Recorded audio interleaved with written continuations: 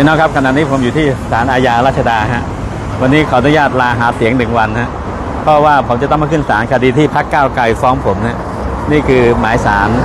ที่พักก้าวไกลฟ้องผม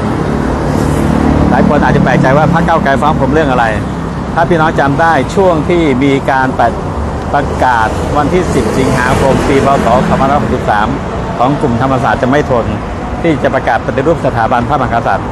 ซึ่งจะมีการยกเลิกมาตรา1นึยกเลิกรัฐธรรมนูญมาตรา 6 ห้ามพระมหาพระมหากษัตริย์มีพระราชดำรัสในที่สาธารณะหลาย ๆ เรื่อง ผมมองว่ากระบวนการนี้เป็นกระบวนการลบล้าง เป็นการต้อยค่าสถาบันพระมหากษัตริย์ แต่นายพิธาบอกว่าเรื่องเหล่านี้ไม่ใช่เป็นการจับจ้วง ไม่ใช่เป็นการล่วงละเมิด ซึ่งแต่พวกเราเห็นหลักฐานที่ชัดเจน และปรากฏว่าการที่เราแสดงออกแบบนี้เขาฟ้องฟ้องผมเลยครับพี่น้อง พี่น้องทราบไหมครับว่าเขาฟ้องเท่าไหร่ เขาฟ้องทั้งหมด 24 ล้าน 62,475 คือฟ้องทั้งอาญาและแพ่งด้วยประมาณ 24 ล้านเศษๆและตัวเลข 24 ล้านก็คือตัวเลขวันที่ 24 มิถุนา 2475 ซึ่งเขาเอามาเชื่อมโยงกัน และไม่เพียงแต่นายนายพิธาจากพรรคก้าวไกลนะครับพี่น้องครับ ก็ปรากฏว่าก็ยังมีหมายสารของนายธนาธรอีกซึ่งเขาฟ้องในช่วงเวลาใกล้เคียงกัน อันนี้เป็นของนายธนาธนาธร จริงรุ่งเรืองกิจนะฟ้องคดีคล้าย ๆ กันนะเพราะเนื่องจากว่าเรื่องที่เกี่ยวข้องกับการปฏิรูปสถาบันก็จะมีพวกนี้ฮะที่เป็นคนสนับสนุน คือประเด็นผมกล่าวหาว่าเขาสนับสนุน การล้มล้างสถาบัน แต่เขาปฏิเสธก็ไม่เป็นไรก็มาสู้ที่ศาลแต่สิ่งที่ผมอยากจะเล่าให้พี่น้องฟังพี่น้องสังเกตไหมครับว่าคนพวกนี้พยายามอ้างเรื่องสิทธิเสรีภาพ เมื่อ คนฝ่ายตนเองถูกดำเนินคดี ก็กล่าวหาว่าเอากฎหมายมาปิดปาก แต่ผมเชื่อว่าพี่น้องประชาชนที่ไปดำเนินคดีนั้นเน่ยเพราะพี่น้องเห็นหลักฐานเขาได้จริง ที่มีเด็กๆเยาวชนหรือประชาชนกระทำในสิ่งที่ไม่เหมาะสมทนไม่ได้ก็ไปดำเนินคดี แต่สำหรับของเราเนี่ยเป็นการต่อสู้ทางความคิด กลายเป็นว่าพวกที่มาฟ้อง ผมจะบอกว่าพวกคุณชอบอ้างว่าคนอื่น เอากฎหมายไปปิดปาก แต่เอาเข้าจริงแล้วพวกคุณนั่นแหละ ที่เอากฎหมายมาปิดปากพวกเรา และอย่างเงี้ยชัดเจนฮะเฉพาะผมพวกคุณฟ้องผมแล้วสามคดี คดีเมเดเบเดเป็นหนึ่งคดี แต่ผมชนะ ตอนนี้ยังเหลืออีกสองคดี ดังนั้นต้องเรียนให้กับพี่น้องประชาชนได้รับทราบว่า คนพวกนี้ปากกับใจไม่ตรงกันครับแล้วพยายามที่จะพูดอย่างแล้วก็ทำอย่าง และสิ่งที่สำคัญผมก็เพิ่งทราบ ผมเพิ่งได้รับหนังสือจากสถานีตำรวจภูธรขอนแก่น จริง ๆ อยู่อาจจะลงวันที่ 30 เดือนมีนา แต่เพิ่งมาถึงเมื่อที่บ้านผมไม่กี่วันปรากฏพวกนี้ไปฟ้องผมมาตรา1นึครับพี่น้อง ผมเพิ่งทราบครับว่าเขาไปฟ้องผมมาตรา1นึแล้วในกรณีที่ผมมีคำแถลงเกี่ยวกับเรื่องราชประชาสมาสัย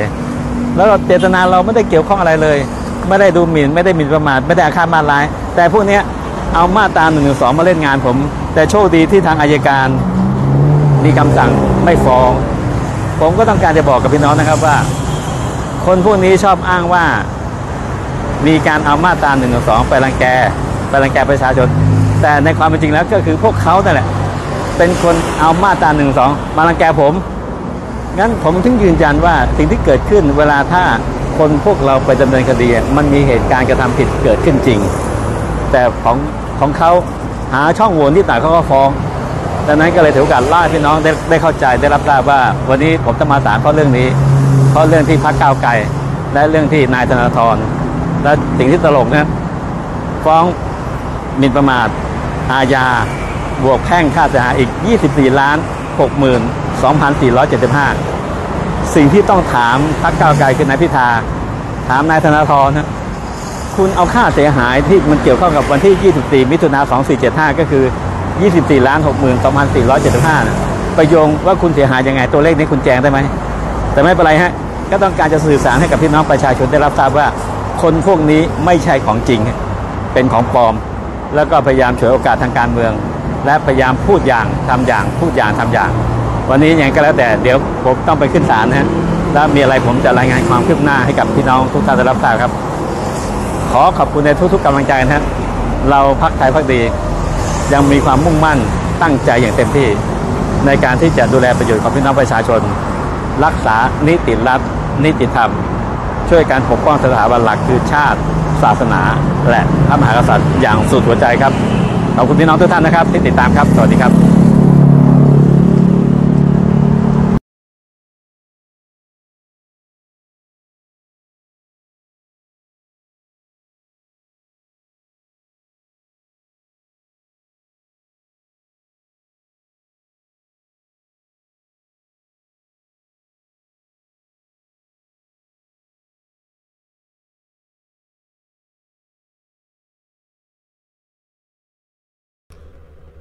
โอเคค่ะ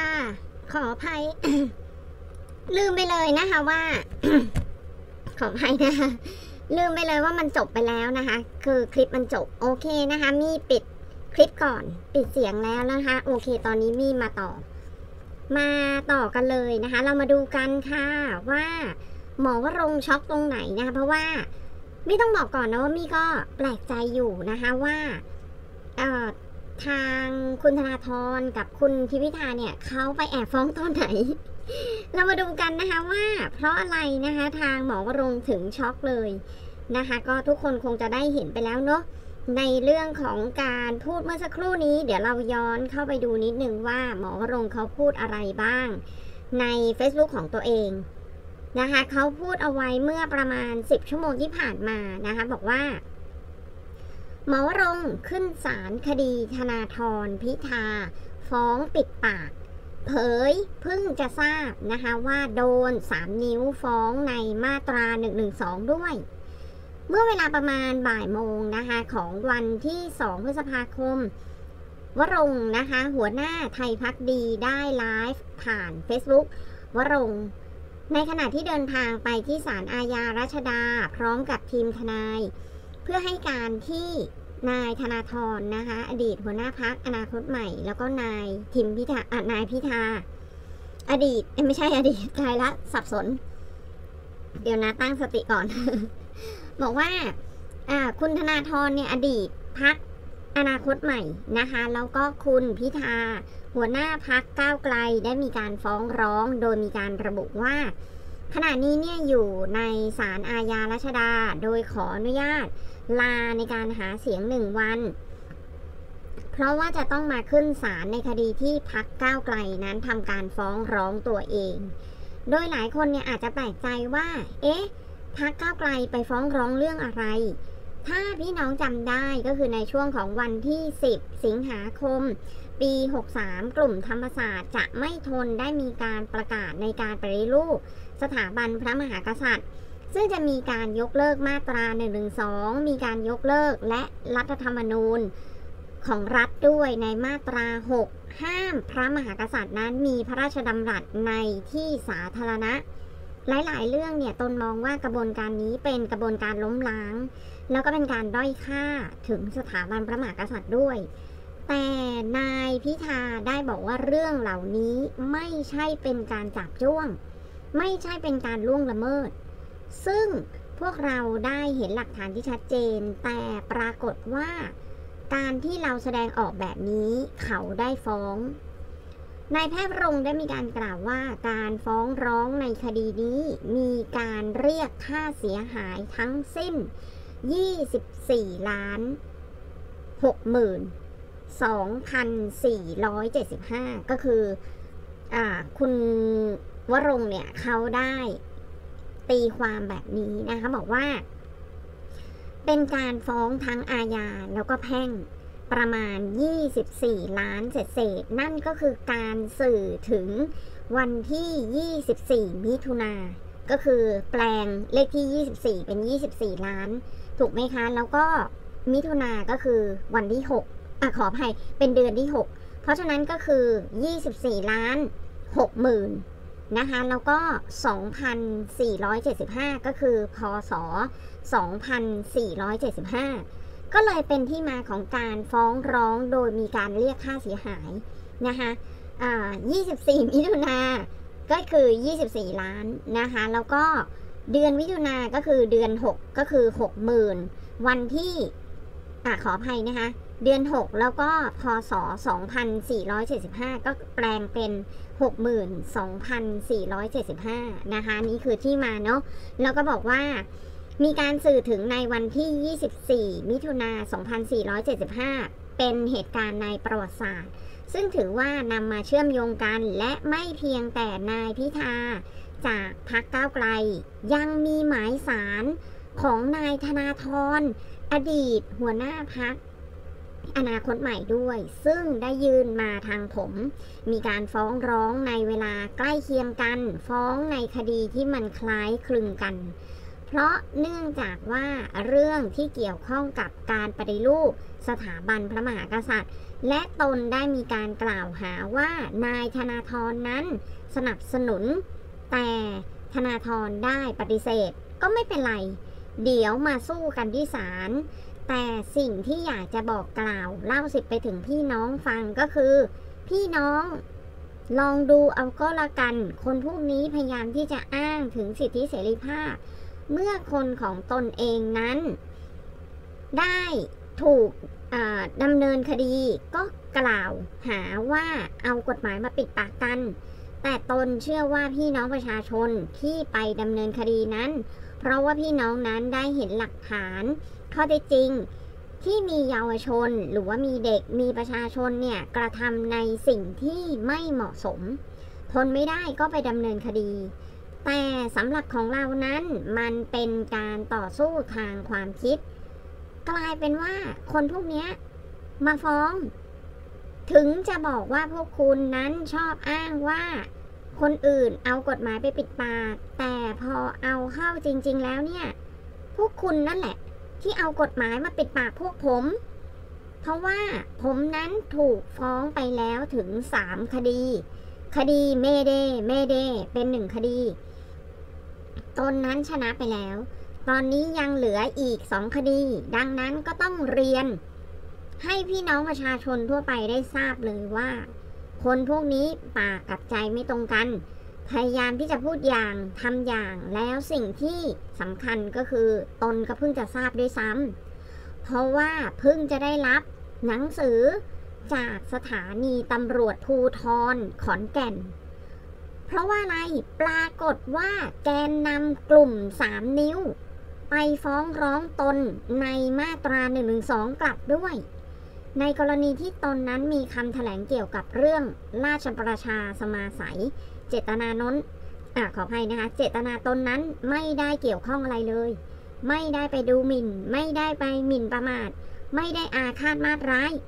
แต่คนพวกนี้เอามาตรา112นั้น มาเล่นงานตน โชคดีที่ว่าทางอายการนั้นไม่ได้มีคำสั่งสั่งฟ้อง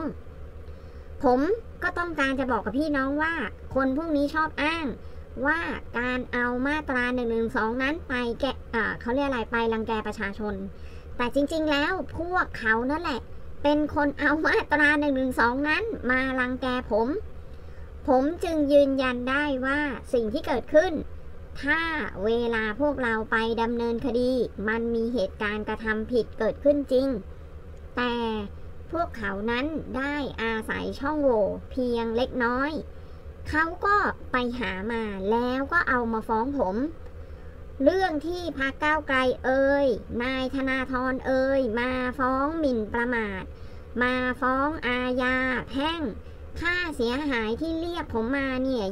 24 ล้าน 62,475 ล้านบาทเนี่ย เป็นสิ่งที่จะต้องถามกลับไปยังพรรคก้าวไกลก็คือนาย นายพิธา แล้วก็นายธนาธร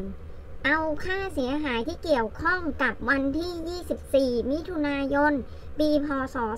2475 แล้วเอามาแปลงถึง 24 ล้านบาท62,475 บาทเนี่ย อ่า ไม่ใช่สิ ก็คือถ้าจะเรียกง่าย ๆ ก็คือ 24 ล้านบาทกว่า 62,475 ไปโยงว่าคุณนั้นเสียหายได้อย่างไร ตัวเลขนี้คุณแจงมาได้ไหม ว่ามันคืออะไรบ้าง แต่ก็ไม่เป็นไร แค่อยากจะสื่อสารให้คนพี่น้องทั่วประเทศเนี่ยได้รับทราบเลยว่า พวกนี้เนี่ยไม่ใช่ของจริง มันเป็นของปลอม แล้วพยายามที่จะฉวยโอกาสทางด้านการเมือง หรือจะพูดอีกอย่างหนึ่งก็คือ เป็นคนที่ทำอีกอย่างหนึ่งนะแล้วก็พูดอีกอย่างหนึ่ง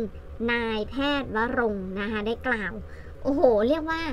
ช็อกนะช็อกเพราะว่ามี่ก็ตกใจเหมือนกันว่า โอ้โหเขาซุ่มนะซุ่มต้องต้องขอบคุณนะคะขอบคุณเลยเพราะว่าทุกคนคงจะได้ทราบนะคะว่าทางฝ่ายประชาธิปไตยเนี่ยจะโดนทำร้ายมาโดยตลอดเลย เอากฎหมายมาตรา1นึเนี่ย มาไล่ปิดปาก ถึงแม้ว่าเราจะทำไม่ผิด แต่เขาได้อาศัยจังหวะที่ว่าศาลอายการตุลาการตำรวจทหารเนี่ย เป็นองค์คาพยพของสถาบันพระมหากษัตริย์ อาศัยช่องโหว่ตรงนี้แหละ ว่าศาลนั้นจะตัดสินภายใต้พระปรมาภิไธยถูกไหมคะ ก็เลยเขาเรียกว่าอะไรอะ่ะ กฎหมาย มีระบุไว้อย่างไว้อย่างไรนะคะศาลไม่ได้ตัดสินตามตัวบทกฎหมาย แต่ศาลจะตัดสินภายใต้ระบอบอันมี พระมหากษัตริย์เป็นประมุขเพราะฉะนั้นเนี่ยต้องทำทุกอย่างเพื่อรักษาพระเกียรติ เหมือนที่มีได้รายงานไปแล้วนะตามหลักฐานของทางทนายรอนนะคะหรือว่าทนายนรเศษนะคะได้ปล่อยหลักฐานออกมาว่า คือศาลได้ยอมรับเลยว่า ในมาตรา1นึเนี่ยจะไม่มีการพิสูจน์ หลักฐานทุกอย่างที่จะนำพาไปสู่การเสื่อมพระเกียรติของทางกษัตริย์ หรือว่าทางสถาบัน ก็นี่แหละเป็นการตอบได้เลยว่า เขาไม่ได้สนความจริง เขาไม่ได้สนตัวบทกฎหมาย แต่เขาทำทุกอย่างเพื่อรักษาพระเกียรติของสถาบัน หรือว่าตัวกษัตริย์เองนะคะ เห็นไหมคะชัดเจนมากเลย ก็เลยเป็นที่มาที่ทำให้นักกิจกรรมของฝ่ายเราเนี่ยโดนฟ้อง ในมาตรา1นึทีนี้เนี่ยคุณเห็นไหมคะว่ามันหนังคนละม้วนเลยกับการที่ทางหมอรงได้ออกมาไลฟ์ออกมาชี้แจงผ่านทางด้าน Facebook ของเขาเองนะคะแล้วก็มาพูดชี้นำว่าทางธนาธรเอ่ยทางคุณพิธาเอ่ยหรือว่าทางแกนนำ ของกลุ่มราษฎรที่ได้มีการฟ้องเขาเนี่ยเป็นเรื่องที่บิดเบือน นี่ว่ามันมันมันมันไม่ใช่อะคือหมอวรงไม่ได้มองตามสิ่งที่มันเกิดขึ้นไงแต่พยายามที่จะพูดในสิ่งที่ตัวเองเนี่ยมโนหรือว่านึกคิดหรือว่าเป็นในส่วนที่เขาเขาเขาเขาเรียกอะไรเป็นความคิดส่วนตัวของเขาอะก็อันนี้คือสิ่งที่เกิดขึ้นนะคะ เพราะฉะนั้นเนี่ยเดี๋ยวก็คงจะต้องมาดูการ การตัดสินออกมานะคะว่ามันจะเป็นอย่างไรนะคะก็อันนี้ก็เป็นเป็นการบันทึกไว้ในหน้าประวัติศาสตร์ละกันว่าเป็นการลุกคือเป็นการลุกขึ้นสู้ ของนักการเมืองที่ถูกกดทับมาโดยตลอดนะเป็นครั้งเป็นเป็นครั้งประวัติศาสตร์เลยว่าคุณธนาธรก็ไม่ยอมเหมือนกันนะคะเห็นไหมคะว่าธนาธรเนี่ยก็โดนฟ้องในมาตรา1นึก็สู้กันไปนะเพราะฉะนั้นถ้าเกิดว่ามันมีช่องทางในการฟ้องกลับนี่ก็สนับสนุนนะคะ ก็คืออย่างที่บอกแหละว่าตลอดเวลาเนี่ยเราจะโดนกดทับมาโดยตลอด เพราะฉะนั้นถ้าเกิดว่ามันมีช่องทางอันไหนที่จะาสามารถฟ้องกลับได้นะคะก็ว่ากันไปเนาะ ก็มาดูกันนะคะว่าณวันนี้เนี่ยที่มีการฟ้องไปแล้ว เดี๋ยวมาดูกันนะผลออกมาจะเป็นอย่างไรนะก็ขอให้ทุกคนเนี่ยรับทราบนะคะเพราะตอนนี้เนี่ยหมอวรงเนี่ยถูกฟ้องกลับในมาตรา1นึซึ่งเราเคยพูดไปแล้วว่ามาตรานี้นะคะมันจะเปิดโอกาสให้มีการกลั่นแกล้งกันได้นะคะทางด้านการเมืองนะก็ต้องไปว่ากันไปเนาะโอเคนะคะก็ประมาณนี้นะคะสำหรับ ในความคืบหน้าของทางไทยพักดีหรือว่าหมอวรงนะก็จบไปหนึ่งเปลาะนะคะเพราะฉะนั้นยังเหลืออีกประเด็นหนึ่งนะคะ ก็ในเรื่องของทาง